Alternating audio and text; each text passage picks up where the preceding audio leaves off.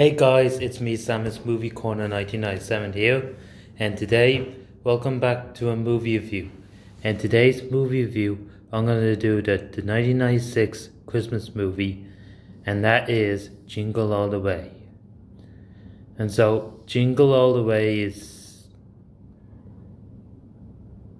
directed by Brian Levant, and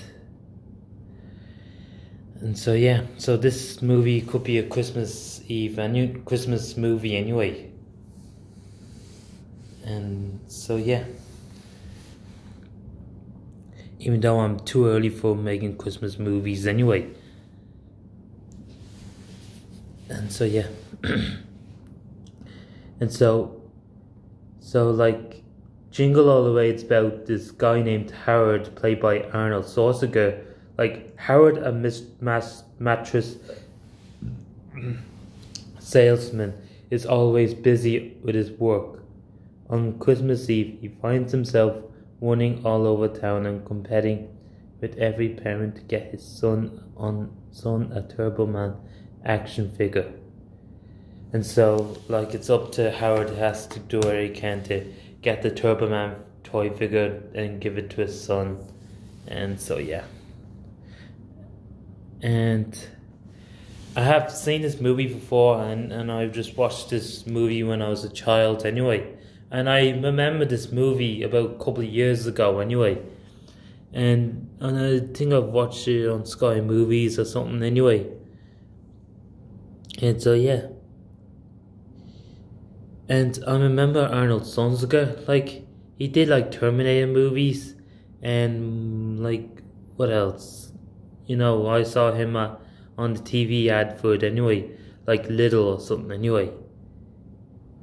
Sinbad, no idea. Who, Sinbad actor, no idea who he is anyway. And Jake Lloyd played Jamie Langston of Howard's son.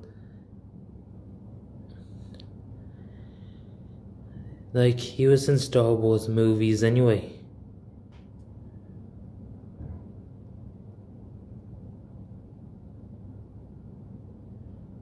Rita Wilson. Never heard of her.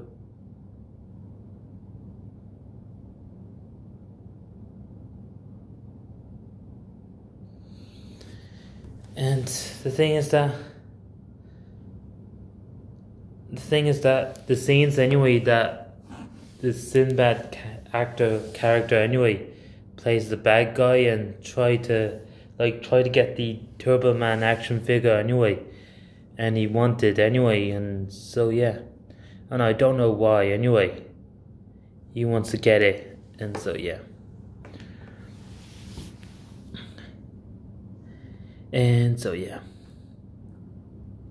And so overall, Jingle All the Way was a great Christmas movie. I'd give Jingle All the Way probably a 9 out of 10. And so yeah.